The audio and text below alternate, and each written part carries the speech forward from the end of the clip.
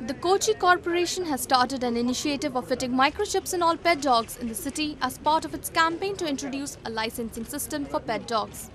The program was officially launched at the Kochi Corporation office by Mayor Saumini Jain and other municipal members. All the details of the pets, including their ownership, age, dates of vaccinations, etc., will be available in the chip which can be read using a handheld scanner. Correspondent Juhan from Kochi for ANI.